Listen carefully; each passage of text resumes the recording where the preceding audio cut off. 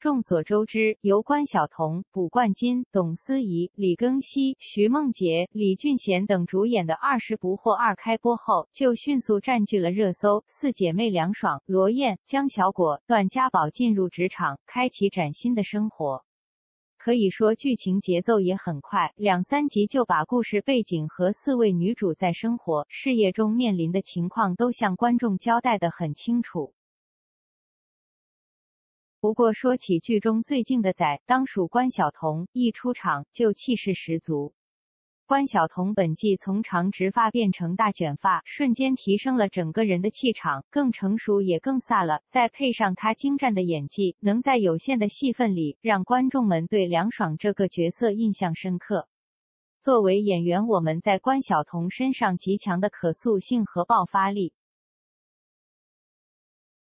近日，华晨宇出席某活动，在采访时，他坦言，在《二十不惑二》定档那一刻，他就为关晓彤打 call，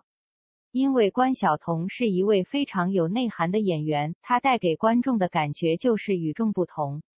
但是，我觉得在这部剧里，梁爽和赵优秀的情感持续到了新剧里，但还是百般曲折，出场没多久就产生分歧，哈哈哈。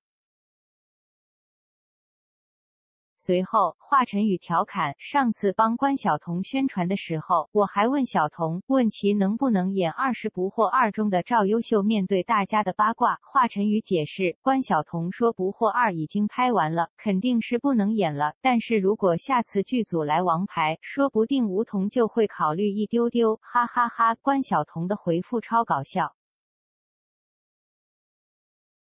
在《二十不惑二》接下来的剧情中，我们也是希望看到关晓彤、卜冠金、董思怡他们如何为梦想尽情绽放、勇敢蜕变，看他们如何在二十岁岁的年纪重新出发启程。最后，也希望这部剧能够达到观众的预期，不要让大家失望。